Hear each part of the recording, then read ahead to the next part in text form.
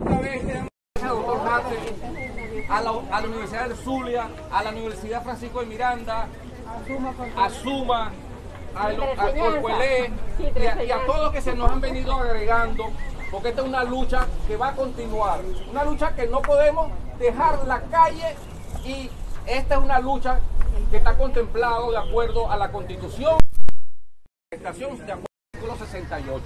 Nosotros no le estamos pidiendo a Nicolás Maduro dádivas ni mucho menos. Le estamos exigiendo Ay, mío, un salario digno que nos permita satisfacer.